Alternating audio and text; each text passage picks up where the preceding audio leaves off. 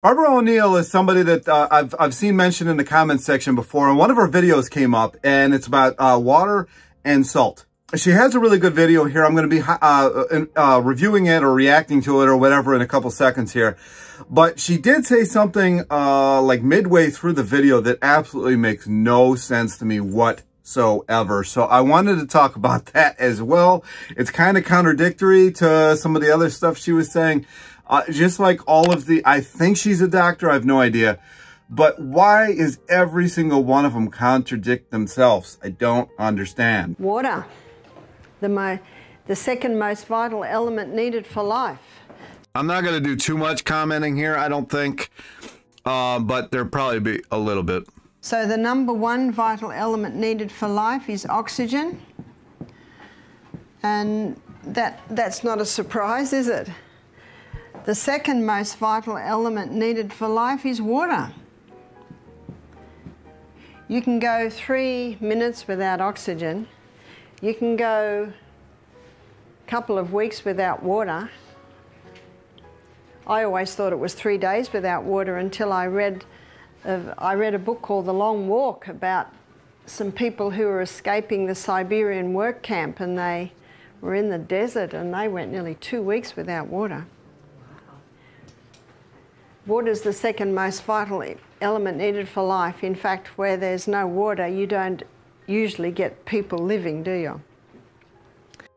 You know, I've, I've had this conversation actually with fruitarians who think that they, they get all their water from fruit, and it's just not the case. Like even you know, if you think of the tropics where everybody thinks that we or that we did originate from, it was on water, and I know the water was salt water, but there's going to be inland water and waterfalls is where you're going to get your water from. So it is very important. I always say to people, how much water do you drink? And these are some of the answers. Uh, I don't like water. Uh, that one, I just don't understand. How do you not like water? It really, it, you know, it. I, I, I don't understand that. Unless it's tap water. Tap water tastes terrible. Um, if I drink water, my feet swell. If I drink water, I'm going to the bathroom all day. Those last two answers tell me that the water's not getting inside the cell. So how do we get the water inside the cell? We have to go to the third most vital element needed for life, and that is sodium. The fourth most vital element needed for life is potassium. So let's go back to sodium. In nature, we find the highest amount of sodium in seawater, and seawater contains 92 minerals. Of those 92 minerals, 30%, approximately 30% is sodium, and of those 92 minerals, approximately 50% is chloride. Now because sodium chloride take up the most amount, they're the first crystals formed when the water is evaporated. So what man does is he scoops up the first crystals formed, he bleaches them white, puts aluminium with it so that it runs freely, and there's your table salt. That's why I've never liked table salt. It, it, something always felt wrong about it. Table salt is a dangerous is a dangerous salt because we now have two very harsh minerals that if you were to inject both of those into the blood, you would die. There's two harsh minerals and they need all the other 90 to soften them and balance them. The highest concentration of mineral inside the cell is potassium. The highest concentration outside the cell is sodium.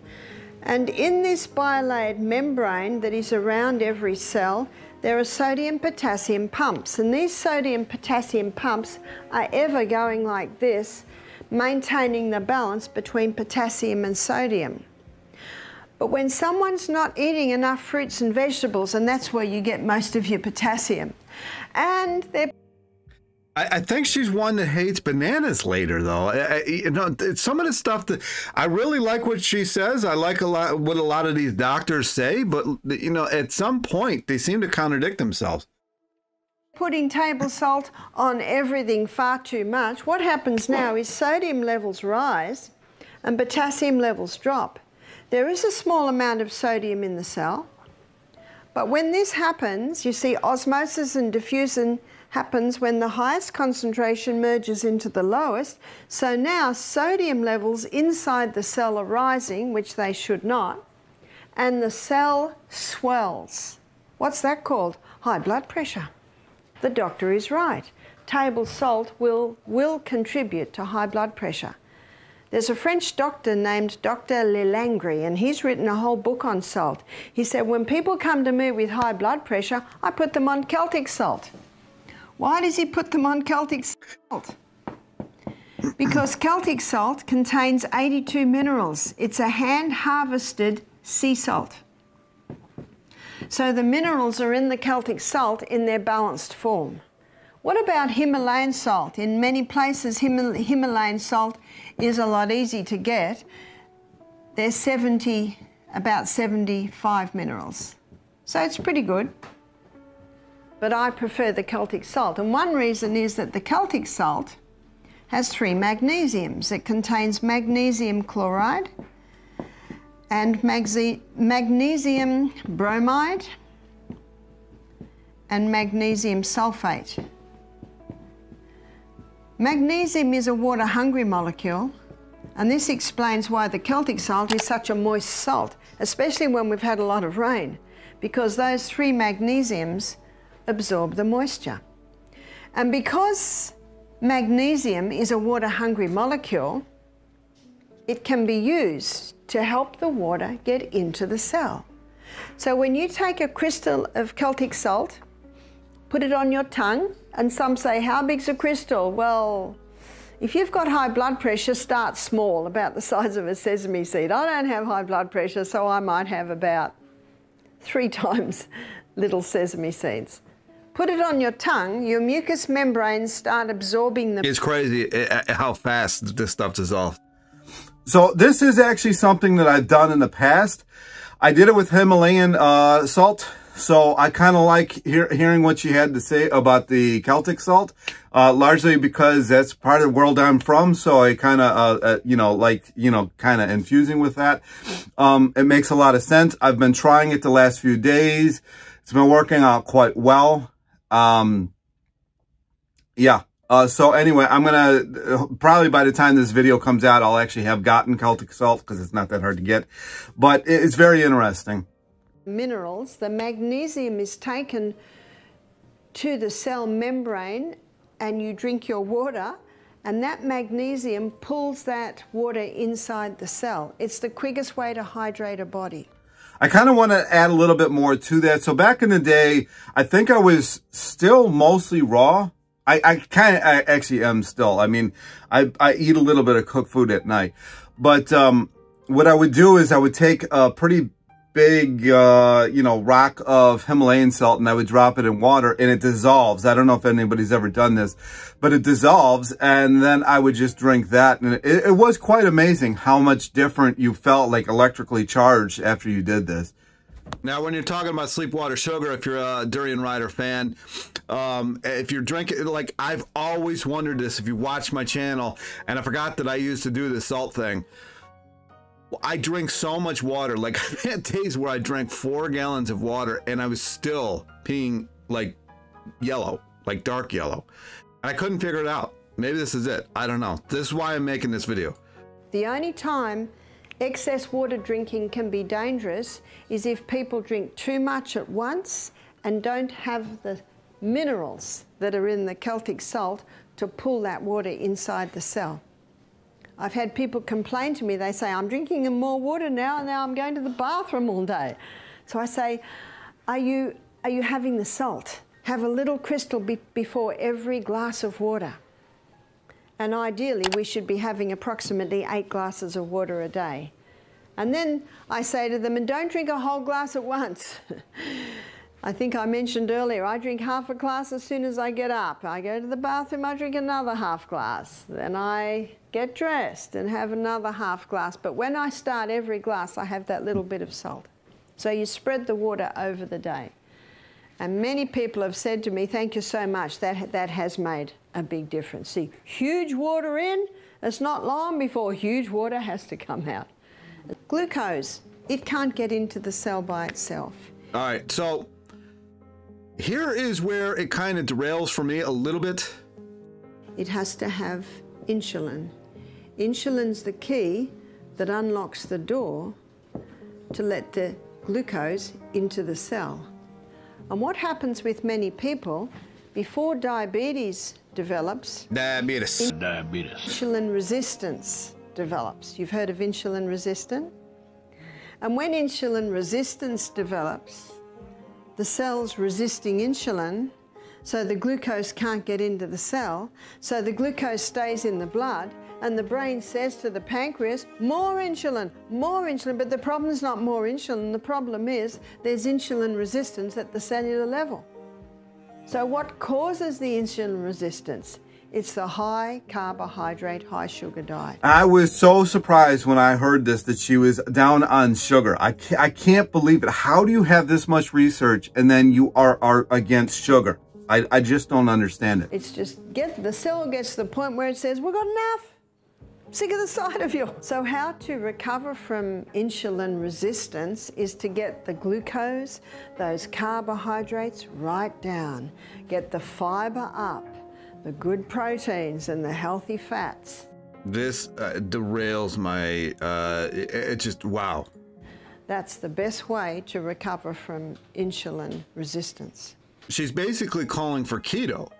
But then uh, I, I didn't put this part in. The, they were talking about the morning meal that they had was lentils. But you just imagine for a moment, and this is happening in America a lot today, people are not drinking enough water. They're not having the whole salt, and they're definitely not having many greens, which is where your magnesiums is. So the little bit of water they're having is not getting inside the cell. They don't go out in the sunshine because they're scared of getting skin cancer. Just put on your uh, SPF 50 uh, that causes skin cancer. So they're not getting their vitamin D, so the calcium can't get in and the minerals can't get in. And they're trying to lose weight, so they've listened to a lot of the media hype that you got to stop the fat because fat I don't know what year this was shot, but uh, there's no media hype on you got to watch fat. It's all keto. will make you fat. So they're on a high carbohydrate diet. Remember what fat will do? It'll give you satisfaction or a satiation, a full feeling. But if you're not having any fat, you just eat and eat and eat. And I don't agree with this at all. I am the guy that can literally eat like avocado after avocado after avocado ask for another one i can i can make a bowl of seven avocado uh guacamole and literally finish the entire thing. So i don't agree with this at all at all at all. And eat and eat and eat. The whole packet of cookies goes, the whole chips go. That and there you go. This is her example of sugar. That's her example. Not good. Then she makes it even worse by her sh- her sugar her sugar uh, uh, examples are what, what did she say? Chips and cookies. Uh, there's no fat involved in that. Uh, I think there is. Let's let's look at some labels here.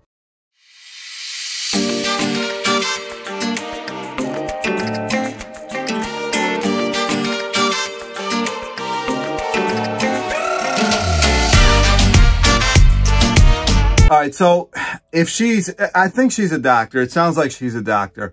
But if she isn't, I mean, all of these doctors are saying uh, uh, completely different things. None of them agree on anything. If I if I have time, I'm going to throw some things in here of, of different doctors. It's just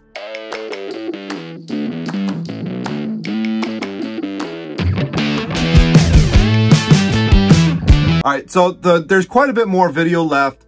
I'll link it down below because it's actually a really good, um, really good video, like really good.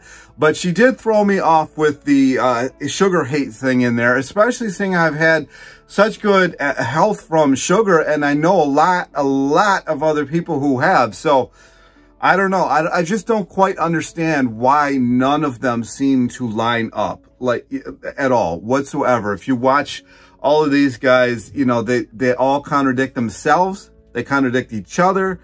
Uh, so that is my reaction to this video. I think the salt information is extremely uh, valuable, but the rest of it is just so bizarre to me. Like how, because she's talking about lentil soup in some of it. And then she's talking about all these vegetables or like vegetable soups. And I, I you know, I think she was mentioning starch. So I, I, don't quite understand where she's coming from. I don't watch her a lot, so maybe there's uh, uh, there's probably more to that than uh, what I've seen. But anyway, uh, questions, comments, like always down below. Like, subscribe, and I'll talk to you in the next one.